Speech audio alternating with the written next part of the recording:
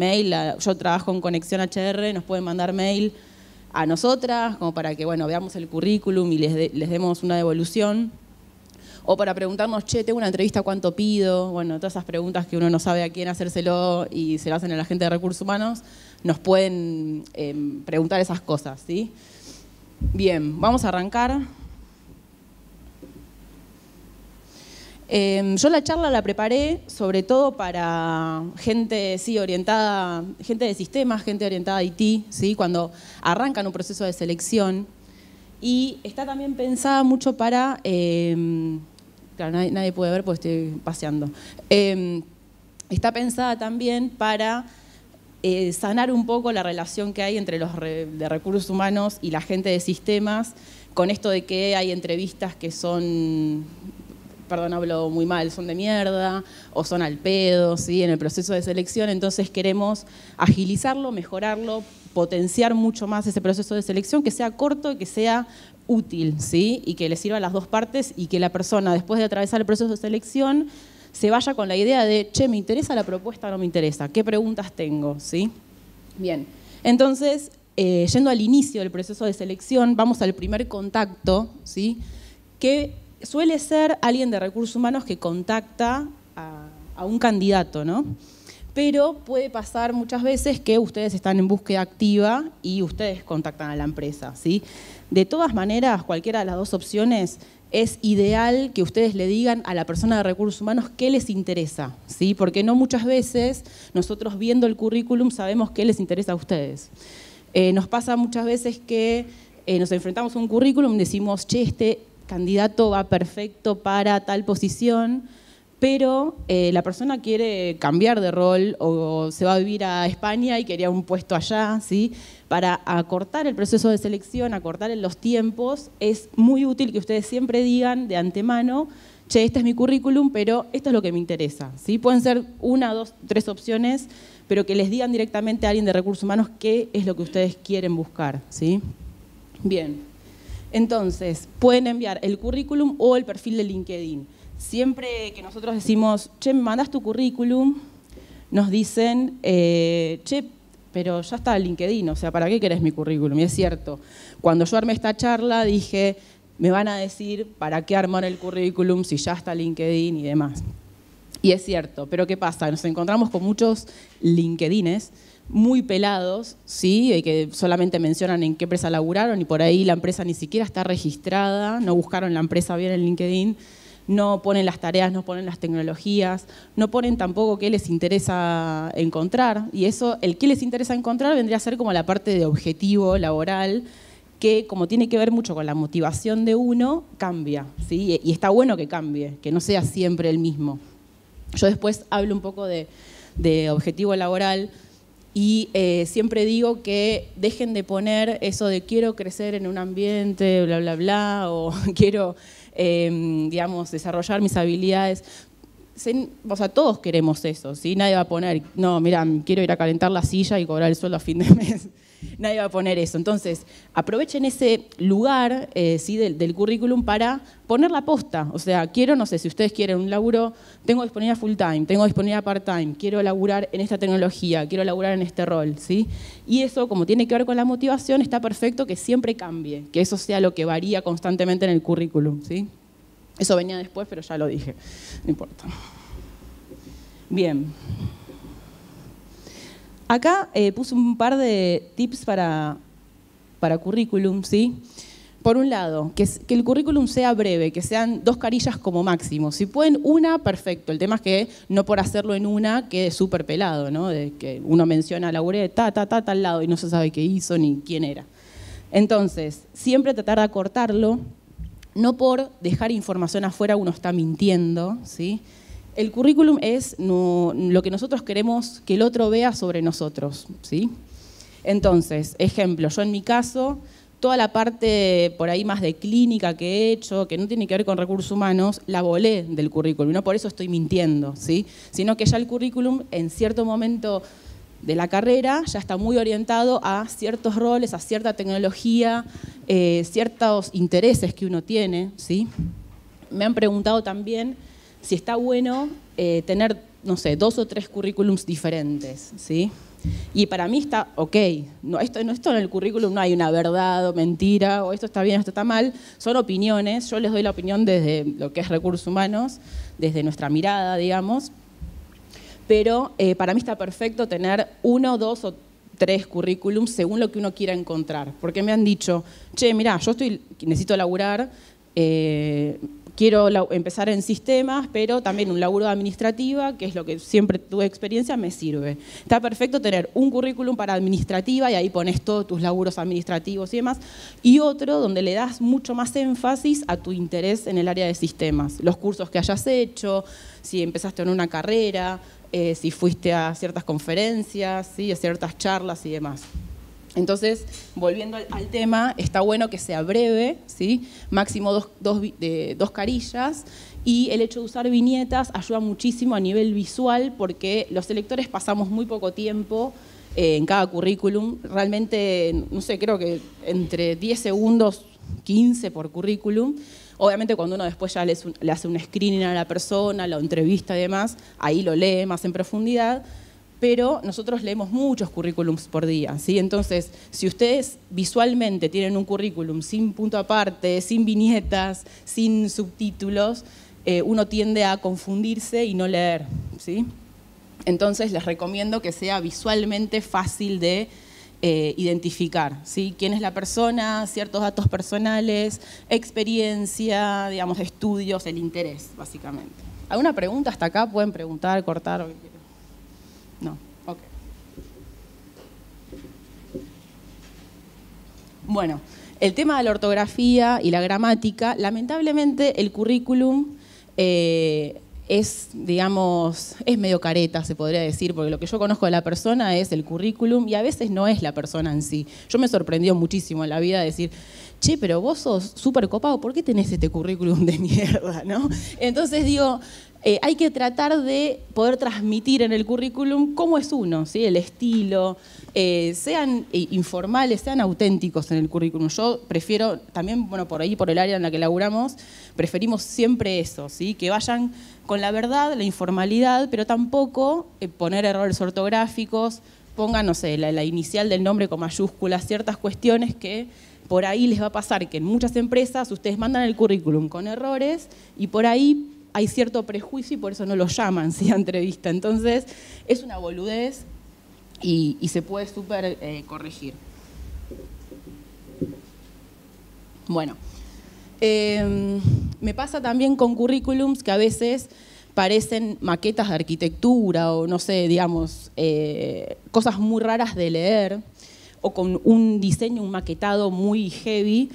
Y yo prefiero siempre vamos con Arial 12, blanco y negro, prefiero que sea fácil de leer por esto que yo decía antes, que no, no tenemos mucho tiempo por currículum, ¿sí?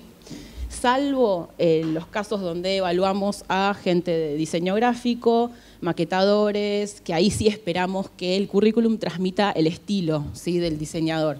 Pero si no, siempre vayan con lo, lo básico. También porque hay muchas empresas que usan CRM de recursos humanos que automáticamente parsean la información del currículum al sistema. ¿sí? Entonces, la persona de recursos humanos lo que hace es trasladar el currículum, lo tira ahí y se parsea la información. Y si hay mucho maquetado en el estilo, digamos, del documento, se parsea todo mal. ¿sí? Entonces, por ahí, no sé, ustedes pusieron la dirección de su casa, eh, Sarmiento y les pone que ustedes llaman Sarmiento, ¿sí? después en el sistema queda así o las personas que ustedes pusieron de referencias en el currículum, resulta que aparecen como personas, como, como el candidato en sí, ¿no? en el sistema, porque lo hace todo de forma automática, ese parseo.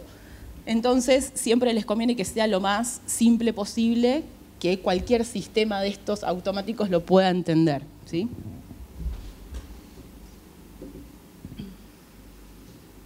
Otro tema es la cronología, tanto de, la educación como de la experiencia.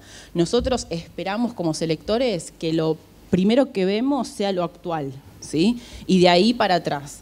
Eh, no mezclado, porque ahí me hago una ensalada y lo dejo para después. O sea, tenemos tantos currículum, búsquedas y demás, que si vemos que hay un currículum todo mezclado, que no entendemos el por qué y acá y qué hizo y después volvió al 2013 y después ah no volvió al 2018 eh, que sea entonces bien ordenado cronológicamente y de lo más actual a lo, más viejo sí tanto para eh, la educación como para la, la experiencia laboral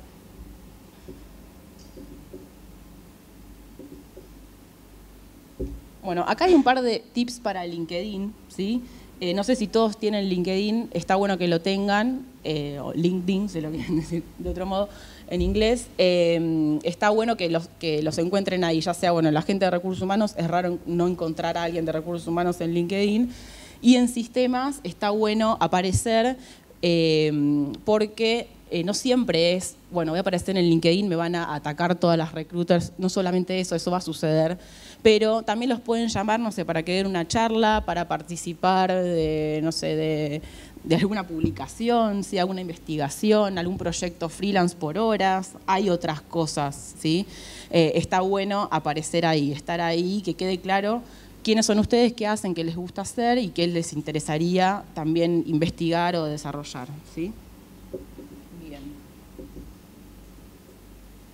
Algo que yo había mencionado al principio es esto de las empresas registradas, eh, poniéndonos en la cabeza de alguien que está en búsqueda laboral, está bueno que la empresa esté registrada. Cuando ustedes escriben dónde laburan, aparece ahí el loguito, las opciones y elijan de esas, ¿sí? Porque si no, después aparece todo como en gris y aparece, pareciera como que laburaron por ir, no sé, en el almacén de la esquina y no, era que no estaba registrada la empresa donde ustedes eh, quisieron poner, ¿sí? Es un tip medio boludo, pero... Em, el titular profesional actualizado. ¿Qué es el titular profesional? Es lo que aparece abajo de su nombre en LinkedIn. ¿sí? Em, ahí está bueno que eh, ustedes pongan de qué están laburando o si ustedes están en búsqueda, que aprovechen a poner la palabra clave con la cual un recruiter los podría llegar a estar buscando. ¿sí? Ejemplo, eh, puede ser, no sé, un desarrollador Python que en vez de poner desarrollador Python pone estudiante de ingeniería. Todo ok, sí, sos estudiante, pero ¿cómo te van a buscar más a vos? Por desarrollador Python, ¿sí? Entonces les conviene ahí meter lo más hot que tienen ustedes en lo que es el mercado laboral, si es que quieren ser eh, contactados, ¿no? Si están podridos pueden poner no estoy en búsqueda laboral ahí o eh, cuando ponen a veces vivo en Córdoba, tipo no me contactes de Buenos Aires. Eh, eso es lo que más se va a ver porque nosotros buscamos en LinkedIn por palabra clave y tenemos 10 candidatos por página y lo que vemos es la carita, nombre, apellido y el titular profesional. Entonces, si ustedes ponen algo que no los define mucho como perfil, por ahí hay muchos recruiters que o muchos reclutadores que no entran a ese perfil. ¿sí? Entonces tengan en cuenta ese titular profesional que es como clave eh, para, ser encontrado. Ni hablar también de las palabras claves que ustedes pueden incluir en su currículum para ser encontrados. ¿sí?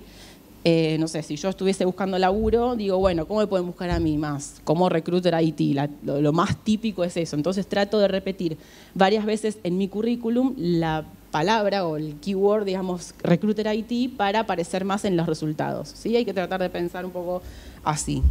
¿Cómo, cómo puede ser que me estén buscando? Bueno, acá estamos en el baño, como ven en el meme, eh, porque es un buen momento para agrandar la red de LinkedIn. O sea, les recomiendo ese momento. Pueden revisar las redes, estoquean a la gente y después pueden decir, che, voy a agarrar más gente de LinkedIn, pueden usar ese tiempo eh, que están ahí en el, en el baño haciéndolo. Em, a ver, LinkedIn no pueden estar agregando gente a lo loco, a lo pavote todo el tiempo, porque LinkedIn te toma la bronca y te dice, pará, tanta gente no conoces, eh, porque LinkedIn cree que nosotros solamente tenemos en la red gente que conocemos, con la que hemos hecho negocios juntos o hemos estudiado. Entonces, eh, pueden ir agregando más o menos entre 20 y 30 por día, ¿sí? Y eh, como clave está bueno que, para que LinkedIn no les tome la bronca con esto, agreguen gente que es muy probable que me vaya a aceptar, ¿sí? Entonces, aumenta la confiabilidad, se dice, de LinkedIn. Bien, entonces eso pueden ir haciéndolo para eh, ir agrandando la red y por lo tanto estar más eh, presentes en varios resultados de recruiters. ¿sí? Cuanto más ustedes contactos, cuanto más contactos tienen ustedes en LinkedIn, más, en más resultados van a aparecer ustedes eh, de los reclutadores. ¿sí? Creo que no sé si se entendió. Bien. Eh, y otra cuestión es, si tienen Gmail, revisar la solapa de social, ¿sí? Porque si ustedes no están acostumbrados a abrir LinkedIn seguido, se acuerdan una vez por mes, eh, puede ser demasiado tarde si es que están en búsqueda para ciertos procesos de selección, puede ser demasiado tarde. En la solapa social suele aparecer todo lo de, bueno, Facebook, Twitter, bla, bla, aparece ahí lo de LinkedIn, ¿sí? si les mandan un mensaje directo, si alguien los agrega y demás. Bien. El mail está bueno que sea visible, es una boludez de LinkedIn que tienen la opción de decir no, que el mail se vea o que no se vea. Sí, ustedes elijan que se vea, ¿sí? salvo, de nuevo, que no estén en búsqueda, no quieren que les rompan las bolas, pero sino elijan que se vea porque em, muchas veces nosotros enviamos mensajito directo por LinkedIn, pero no siempre eso funciona, eh, no siempre la otra persona lo lee o lo lee, no sé, desde el bondi, no tenía señal, nunca más contestó, entonces siempre apuntamos a mandarles un mail directamente, ¿sí? Si el mail de ustedes no está visible, es un bajón, o sea, nos ponemos muy de mal humor. Eh, y vean eso, que esté visible y traten de que sea un mail más o menos formal, ¿sí? O sea, nombre, apellido, algo que no, no sé, no sea la morocha de Boedo, arroba, algo así. No quiere decir que yo haya tenido eso. Así. Bueno. Eh, no poner datos de contacto exhaustivos, o sea, no me interesa el piso de la casa, el código postal y eso. Todo eso se lo van a pedir a ustedes si avanzan en el proceso de selección, ahí sí arrancamos todo lo administrativo, pero si no, lo que nos interesa a nosotros es más que nada la zona donde viven, ¿sí? A veces eso es determinante para decir, che, se le va a complicar, no sé, irse a Nordelta desde Quilmes y sí, sí, o ni el sueldo va a pagar el transporte ya directamente. Entonces, Em, básicamente pedimos eso, que pongan los datos necesarios, pero tampoco el piso y la todas esas cosas no es, no es, eh, no es necesario. Sí el celular, sí el mail, ¿sí? y si quieren puede poner el barrio donde viven, pero no hace falta poner eh, el piso.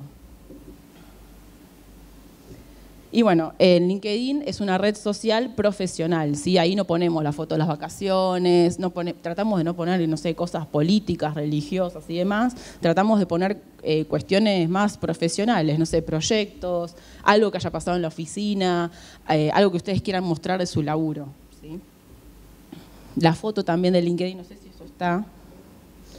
Eh, la foto de LinkedIn también que sea dentro de todo profesional, ¿sí? no salir eh, abrazado por alguien invisible así, o digamos la foto de los 15 porque era la única vez que se clavaron un traje, ni necesario el traje. Em, digamos que traten de que sea una foto donde se los pueda identificar. Creo que después viene el tema de foto sí, foto no. Eh, yo soy de las que opinan que sí, foto sí, pero porque vemos mucha gente por día y está bueno a veces identificar, decir, ah, sí, yo no me acuerdo el nombre por ahí el apellido, pero no sé, yo sé que tal cara la relaciono con tal tecnología, ¿sí? Entonces, eh, está bueno que esté la foto. Pueden estar como quieran en la foto, pero que sea identificable la persona. Muchas veces eso nos hace acordar de candidatos, eh, que por ahí eh, nos pareció muy bueno el currículum y decir, qué bueno, lástima que no tengo búsqueda, eh, pero después te acordás, a la semana se abre una posición y decís, ay, voy a ir a buscar a ese, y, realmente es visual la memoria en ese, en ese caso, ¿sí? Em, justo me acordé esto que estaba diciendo de eh, qué buen currículum, no tengo búsqueda. A veces eh, piensan que los reclutadores somos los, que, los garcas que no queremos que pasen en el proceso de selección. Y muchas veces todo lo contrario, o sea, yo cuando me encuentro con un candidato y ya estoy hablando, lo que más quiero decir, ojalá que sea el indicado, digamos, que sea lo que me pide la empresa, ¿sí? Eh, en mi caso, que laburo en consultoría, siempre el cliente tiene la última palabra. ¿sí? las únicas veces que yo elijo gente es cuando es gente para mi equipo, la única vez que yo tengo la última palabra. Pero después siempre es, cada cliente es un mundo, cada cliente pide cosas particulares y nosotros tenemos que filtrar. ¿sí? Entonces, bueno, al contrario de que por ahí mucha gente piensa que no queremos que pase el proceso de selección o que no nos gustó algo, la cara, lo que, todo lo contrario. O sea, lo que más queremos es que si yo ya hablé dos segundos con esa persona, quiero que esos dos segundos valgan la pena y que lo pueda mandar al cliente y avance ¿sí? en el proceso de selección.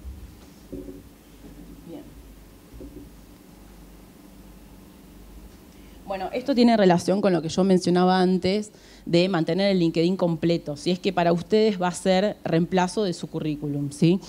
Eh, en el LinkedIn también si no pueden adjuntar su currículum y ya está, es más fácil si no, pero si no quieren hacer el currículum y dicen, no, voy a hacer el LinkedIn bien, lo voy a completar y que eso sea mi, mi currículum, perfecto, pero complétenlo. ¿sí? Lo que esperamos nosotros ver en un perfil de LinkedIn es en qué empresa está laburando, los años reales, ¿sí? no arrancar, no sé, que diga 2013, y no se sabe si solamente fueron en 2013 o desde el 2013 hasta ahora, ¿sí?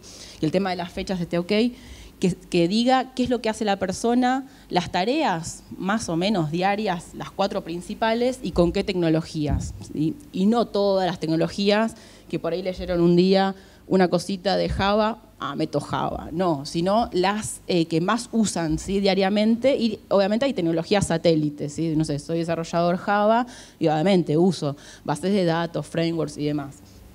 Pero las principales, ¿sí? las que más usan diariamente. Y está bueno, si pueden, hacerlo en inglés y español. LinkedIn les permite eso, hacer todo un perfil en, español y hacer el mismo en inglés. Lo pueden ir armando de a poco eh, y eso está bueno, ¿sí? Y lo pueden bajar de LinkedIn ustedes el currículum. O sea, van a eh, más información y después de ahí dice bajar en PDF. Y bajan el, su propio currículum, lo, lo pueden bajar en PDF. Bueno, esto ya lo dije, incluir tecnologías. Bueno, estas son algunas dudas que me han planteado en, este tipo de charlas sobre currículum. Ustedes pueden sumar nuevas y también las puedo agregar para las próximas charlas que dé o eh, debatir acá. Esto ya lo dije. Eh, para mí sí, eh, va no sé qué opinan, la, estas chicas son de recursos humanos. ¿Ustedes qué opinan? ¿Va, va, va, va la foto? Dicen que va la foto. De hombros para arriba.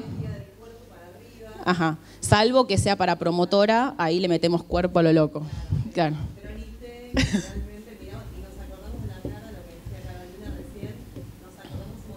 Hmm.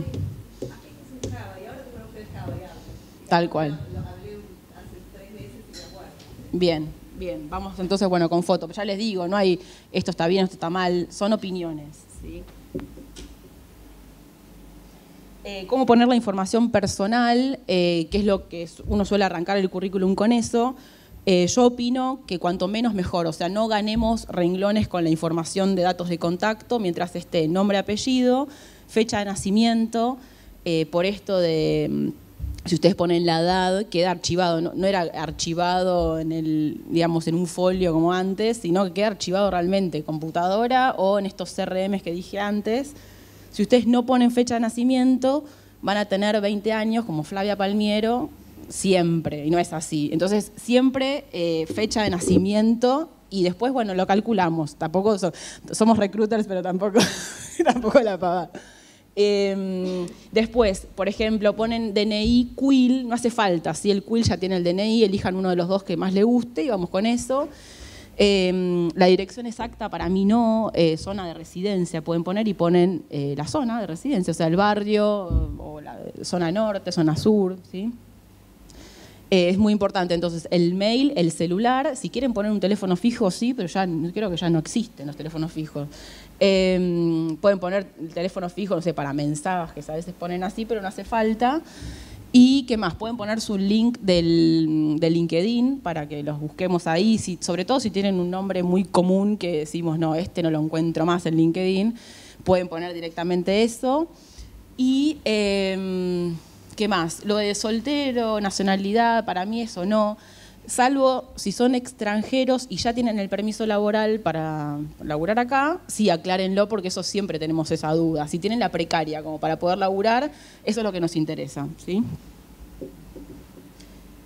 Bien, lo del objetivo laboral, entonces, yo ya lo había mencionado esto, para mí va solamente si voy a sumar información que por el currículum no decanta, ¿no? Ejemplo, eh, veo todo el currículum, digo, uy, qué buen perfil para DevOps, pero el pibe ya no quería ser más DevOps, quería cambiar de rol. Entonces eso me lo tiene que avisar en algún momento del currículum. ¿Dónde? En objetivo laboral, ¿sí? si ustedes tienen eh, disponibilidad part-time, ¿sí? si, si quieren solamente laburar en zona norte, por ejemplo, o solo remoto, ¿sí? esas cuestiones que no hay otro lugar del currículum donde me pueden decir eso, lo pueden poner en objetivo laboral. O volarlo, no, no, importa. ¿sí? Antes que la frase trillada de quiero crecer profesionalmente en un ambiente que me permite, eso yo prefiero, no lo, no lo leo. Entonces, eh, preferible que el objetivo sume ¿sí? Eh, algo. Entonces, si no tienen nada para sumar, lo, lo vuelan. Eh, el tema de poner los hobbies, también esto es media opinión, algunos dicen que sí, otros que no, lo pueden dejar para una entrevista, eso, no hace falta. Yo no los pondría, salvo obviamente que me los pregunten, a veces en las entrevistas cuando evalúan idioma, aprovechan a mí a preguntar, what do you do in your free time? Bueno, pero, eh, digamos, para mí no suma. Lo único que me dijo una vez alguien de recursos humanos es, que alguien había puesto que jugaba al vóley con un equipo, competían y qué sé yo, no sé, desde el 2008. Y como que eso a ella le daba la pauta de que la persona pudo mantener un grupo social en el tiempo. Y dije, ah, bien, buen argumento, me convenció. Así que bueno, yo diría, lo pueden llegar a poner si quieren, si les gusta mucho poner sus hobbies, en la última línea, no al principio, y no ponerlos con viñetas y ganar como seis renglones de hobby, porque ahí ya no. pero, pero sí, punto y coma, punto y coma, coma, coma, y ya le meto tres hobbies. Eso, eso está bien. Em, yo lo que no haría es, que me he encontrado en varios currículums, es viajar, me ponen, y una foto de un avión. Eh, tomar helado, foto de helado. No, es como que ahí ya me, me, me cambió el humor. Bien. ¿Pongo las referencias o no? Para mí no. ¿Por qué? Porque estás poniendo el nombre, apellido y teléfono de una persona que ni sabe a dónde vas a viralizar tu currículum, básicamente. Entonces, para mí no está bueno. Sí pueden poner una línea en el currículum que diga referencias a demanda o a disposición.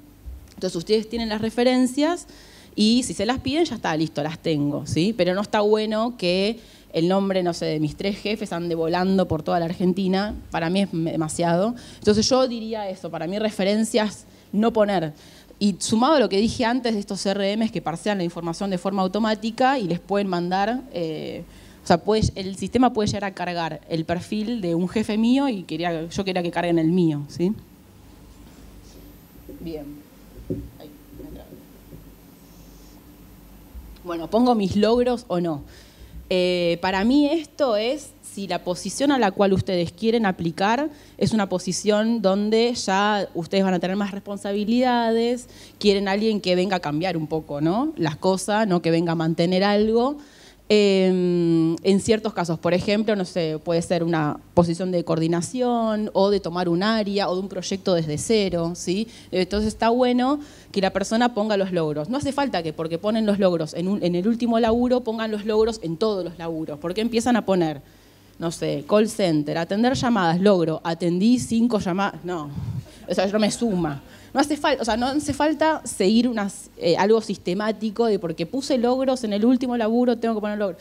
Entonces, pueden poner logros solamente en el último trabajo o en algún trabajo que realmente hicieron un plus o, tuvieron un valor agregado. Sí.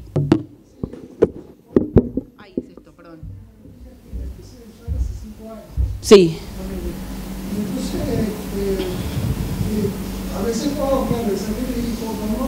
5 años de experiencia en tal tecnología, uh -huh. pero en realidad no soy una vez a semana. Entonces no es que tenga 5 uh -huh. años de experiencia. Tal cual. El mejor puede ser que tenga en total un año de experiencia. Uh -huh.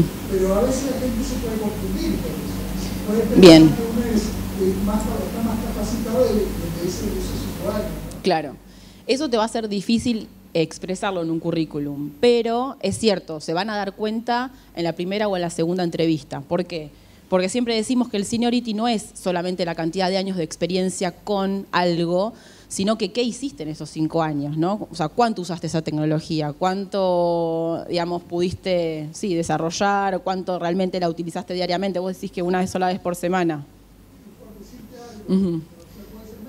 Ahí lo que estoy pensando es que podés expresarlo de alguna forma en, eh, si pones tecnologías y pones, la mencionás, pones nivel intermedio o intermedio bajo, por decir algo. Entonces, ahí me da la pauta de decir, che, hace cinco años que estás laburando con esto, pero me pone intermedio bajo. Y me hace ruido como para preguntarte en una entrevista que me cuentes más. ¿sí? Eh, es la única forma, no sé si de otra forma. Resaltar que lo que somos buenos, nuestra uh -huh. especialización es, no sé, Python, todo lo que sabemos uh -huh. bien, es lo que como profesional, y después aclarar nivel básico, no es o otra cosa. Ok. Ok, si podés mencionar las tecnologías y poner cuáles son realmente sólidas para vos y en cuál es intermedio, en cuál es básico. Creo que la única forma de expresarlo sería así, eh, porque la, la, persona de recursos humanos va a ver que en tal año arrancaste a laburar con eso y hasta el día de hoy estás y va a asumir que tenés, no sé, cinco años de experiencia con esa tecnología. ¿Sí? Bien. Bueno, entonces lo de los logros solamente cuando es necesario y no hace falta que estén en todas las experiencias. Los no, a ver, ¿qué no del currículum? Eh, cuando adjuntan la fotocopia de DNI, el analítico, el certificado de bautismo de nacimiento, todo eso no, porque no hace falta. Y eh, la computadora ya no, no, da para más. O sea, ya los currículums en PDF nos complican la memoria. Imagínense si me mandan el escaneado del analítico de la facultad. Entonces, eso cuando sea necesario, ya les digo, si avanzan en el proceso de elección, aceptan la propuesta, le empiezan a hacer el preocupacional, ahí les van a pedir, cada empresa pedirá lo, lo, lo necesario. Después, no repetir información, eh, hacer currículums, ya les digo, simples, ¿sí? con poca información, cuanto menos mejor, porque es más fácil de leer. No hablar en tercera persona ni voz pasiva, eh, o sea, esto de Carolina dio la charla, no, di la charla, ¿sí? No hablen como que alguien, el secretario les hizo el currículum a ustedes, sino que ustedes se sentaron en la computadora y lo escribieron. Entonces, eh, no, no usar esta tercera persona no enumerar todas las tecnologías, como dijimos, ¿sí? ir directamente a las que más utilizaron. Sí, hay una pregunta.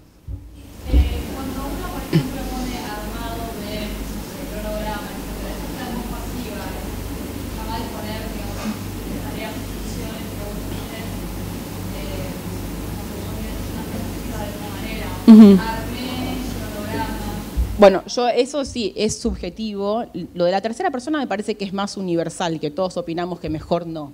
Pero lo de la voz pasiva es un estilo. Yo prefiero que digas armé, coordiné, eh, me da como otra sensación también de como empowerment, digamos, de, de la tarea. Pero ya te digo, es, es un estilo, eh, no, no, está mal. ¿sí? Claro. Ok, ok. A mí me gusta más que digan armé, coordiné, desarrollé y logré, no sé, elaboré. Pero ya en ese sentido es algo más subjetivo, es opinión personal. Bueno, no, no numerar todas las tecnologías, ¿sí? Y bueno, obviamente no mentir, porque eh, hubieron casos en los que dicen Excel avanzado. El Excel avanzado no es, o sea, fácil, ¿no? Y por ahí a veces no lo evalúan en el proceso de selección, te meten a hacer algo en los primeros días de laburo y estás en el baño llamando a tu tío para que te ayude, no da. Y mmm, también eh, a veces mienten con cursos, por ejemplo, a ah, meter este cursito que queda bien. Y después siempre puede haber alguien en el proceso de selección que dice, ah, hiciste este curso, ¿qué aprendiste? ¿Con quién lo hiciste? ¿Te costó caro? ¿Dónde fue? ¿Sí? Y ahí no saben dónde meterse. Entonces, no mentir, preferiblemente no mentir, preferentemente. Bien. El screening, que yo lo mencioné antes, es el momento en el cual eh, el recruiter dice, che, este currículum me parece bien, llama al candidato y le hace un par de preguntas. A veces esas preguntas ya están en el currículum y lo hacemos para chequear que está, esté todo ok, ¿sí? Y hay preguntas que no están en el currículum y que son para nosotros eh, filtro en el proceso de selección y queremos tener eso bien claro para después coordinar una entrevista, ¿sí? En los procesos de selección en sistemas, que son muy rápidos, a veces este screening tiende a ser ya casi una la primera entrevista ¿sí? de recursos humanos o eh, la entrevista con la consultora.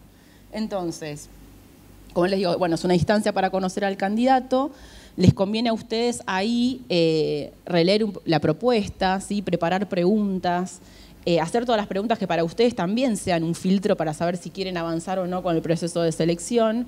Si están hablando con una consultora, es posible que la persona con la que hablan no tenga toda la información, pero para Pero si para ustedes es algo muy importante para saber si quieren avanzar o no, la idea sería que le hagan esa pregunta a la recruiter, la recruiter lo anote, se los averigüe y en base a eso continúe o no el proceso de selección. ¿sí? Bien. A veces se evalúa el tema del idioma en, en estos screenings, entonces les conviene a ustedes estar tranquilos. ¿sí?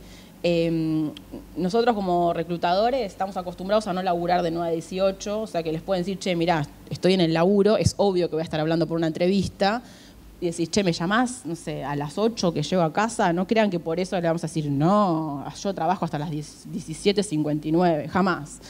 Eh, aparte son llamadas cortas, ahora está el WhatsApp, es mucho más dinámico, no es una entrevista de 40 minutos a las 8 de la noche, sino que es algo mucho más corto, breve y, ya. Entonces les pueden decir un horario que para ustedes esté bien. Es preferible eso antes que hablen rápido e incómodos. Y bueno, vamos con la última parte, lo voy a hacer rápido. Eh, la parte de entrevista. Son tips para, eh, para entrevistas, ¿sí? Para pasar por entrevistas. Bueno, investigar sobre la empresa y la posición. Eso está bueno para que mm, demuestran interés ¿sí? Eh, en la empresa. Si yo investigué, ya voy más avanzada, no voy para que me cuenten, bueno, ¿conocés la empresa? No. Lo que hacemos es, no, ya ustedes están un paso adelante y pueden aprovechar esa, esa entrevista para hacer preguntas que a ustedes les sume más información que lo que está en la web. ¿sí? La idea es que en esa entrevista no les digan a ustedes algo que ya pueden leer en la página web o en Facebook o lo que sea.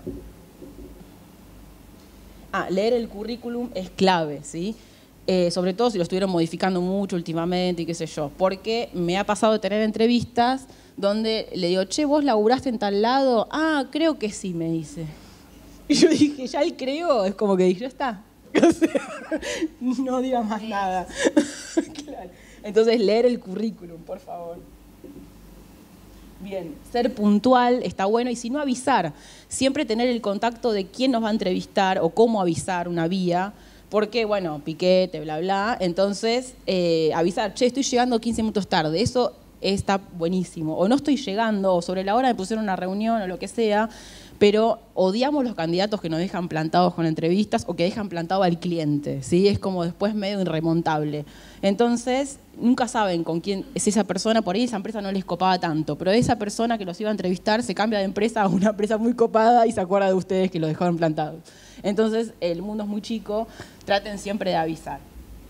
Siempre ideal tener en el WhatsApp a la recruiter y ahí avisarle, che, no estoy llegando, che, le avisás que estamos siempre nosotras 0800, o sea, ay, no llega el candidato, siempre es algo así, como que estamos eh, de guardia. Bueno, ser auténticos, ¿sí? Porque eh, también eh, dura poco la careta, te das cuenta. Y además, si no van a terminar entrando a un lugar que no va con, la, con el estilo de ustedes, con lo que van a estar cómodos todos los días. En el laburo estamos mucho tiempo, más que en nuestra casa, con nuestra familia, con nuestros amigos. Entonces, traten de ser auténticos y lograr una relación laboral duradera, que, no sé, ahora duradera es dos años, pero que sea duradera. Ahí tenemos a Mirta, que es la reina de las interrupciones. Traten de no generar interrupciones, eh, porque incomoda, porque no, uno no termina ni de, de, dejar que el otro termine la idea, ni de plantear. La verdad que queda bastante mal esto de generar interrupciones durante el proceso de selección. Entonces, acuérdense de Mirta, no sean Mirta. Eh, la vestimenta acorde a la empresa de la posición. Siempre cuento una anécdota de un flaco que fue una entrevista y el cliente me dice, la verdad re bien, pero nos generaron dudas porque vino en traje. Y yo, bueno, ¿y qué tiene? O sea, no pasa que aquello lo atendí en ojotas y short, entonces me, generó esa incomodidad, no me pude olvidar de eso en toda la entrevista. Eh, después no pasó el test técnico, bueno, pero digamos que traten de chusmear ahora en las redes sociales, que siempre eh, no sé, Instagram, Twitter, Facebook, qué sé yo, pueden ver la empresa y les cuenta un poco como el día a día, ¿no? Pueden chusmear, ah, festejamos el día de la primavera, así, qué sé yo. Bueno, ahí ya saben más o menos la onda de la empresa.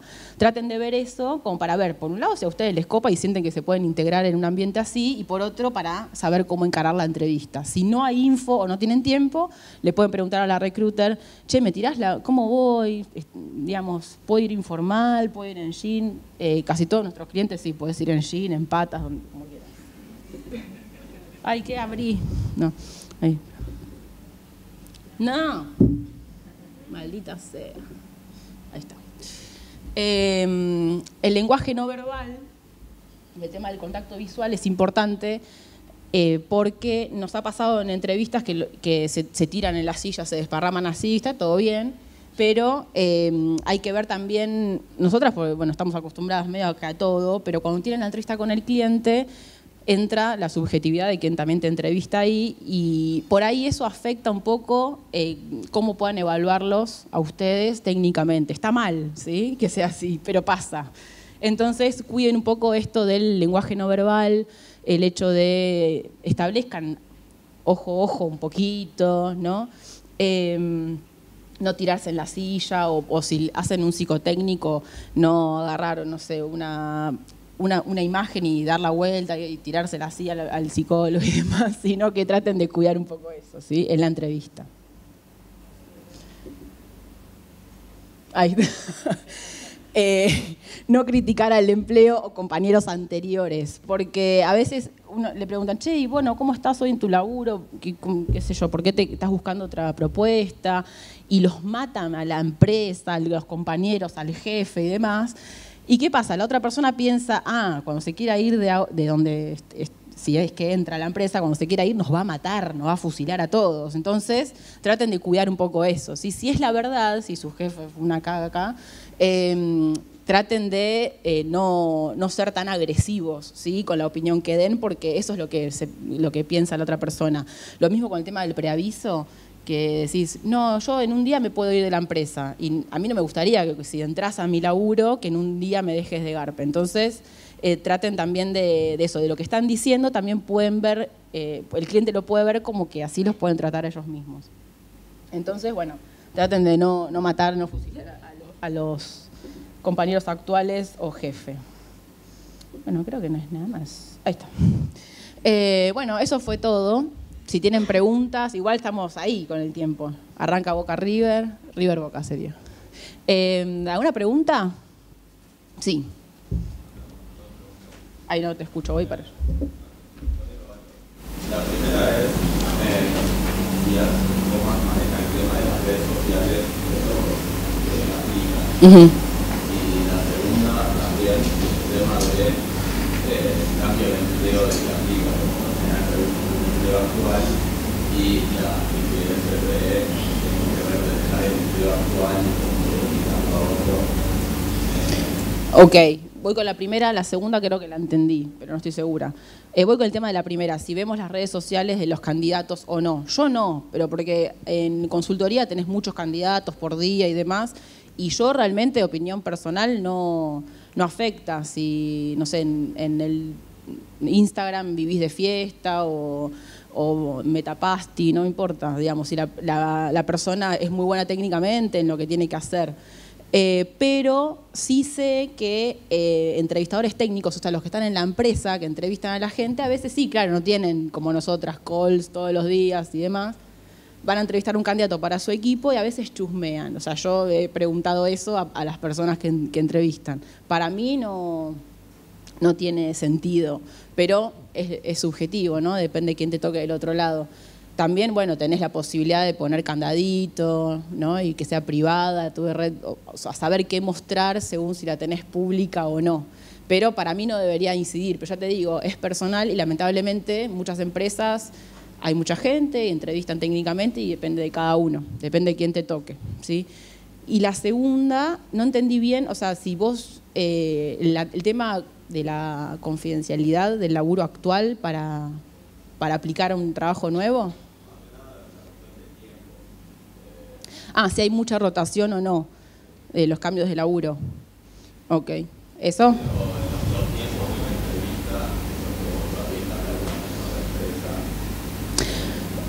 ¿Cuánto tarda un proceso? Mm.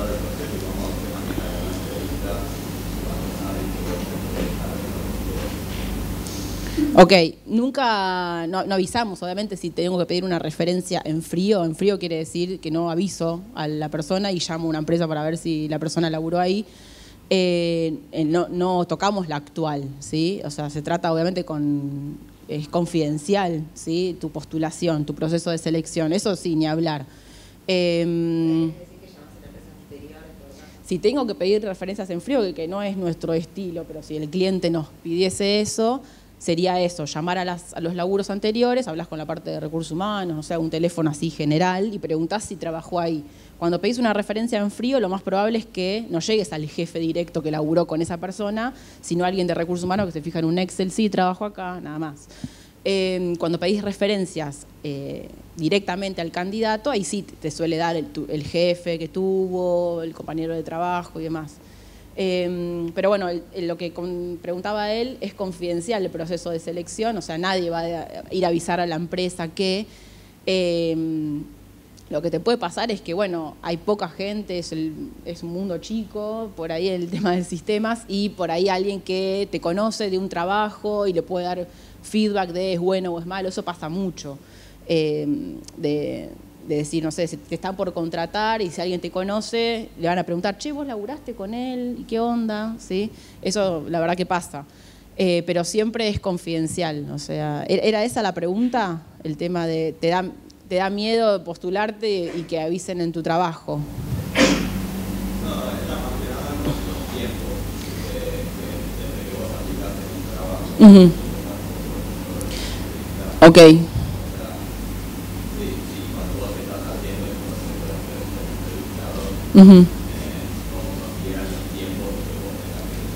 Ah, el proceso de selección hemos tenido de todo, que depende de cada cliente, ¿no? los pasos. Pero yo creo que un proceso ágil sería, no sé, 10 días, eh, porque hay que tener disponibilidad de todas las personas que las que te van a entrevistar y demás. Rápido, rápido, una semana, porque a veces el proceso de selección son una entrevista o dos. Después, Sí, sí es que hay psicotécnico, pero bueno, si te tienen que entrevistar dos personas y vos tenés amplia disponibilidad de esas personas también, suponete que en dos días, tres, tenés esas dos entrevistas, toman la decisión, te hacen la oferta, eso sería un proceso súper ágil. Y el preocupacional suele tardar día y medio mínimo, hay lugares tres días que, para que te den el resultado. Pero después, lo normal es el preaviso sería como de 15 días para que vos, eh, una vez que tengas la oferta en mano y la aceptás y está todo bien, avisas en tu laburo y tenés 15 días, es lo normal eh, para dejar todo ordenado. En, a ver, en 15 días dejas más o menos todo ordenado, pero no suelen encontrar tu reemplazo, por lo general. Es difícil. Pero ya un mes me parece una locura, salvo que no sé, tengas vacaciones o tu posición sea un cargo con muchas responsabilidades y decís, no, mira, no me voy antes del mes. Pero bueno, desde 15 días estaría bien. ¿Sí? ¿Alguna otra pregunta? Ya está. Ah, no hay más tiempo. Bueno, eh, ese es mi Twitter. Eh, me pueden preguntar también por ahí. ¿sí? Me pueden mandar currículums para que les diga, sí, está bueno, no, no. Esto sacalo, esto ponelo. Y después también dudas que tengan de recursos humanos. ¿sí? Bueno, gracias a todos.